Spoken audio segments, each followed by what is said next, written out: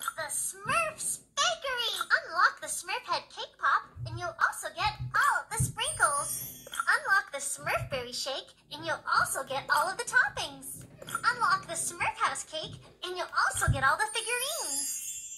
Unlock the Princess Smurfette Cake, and you'll also get all the icing colors.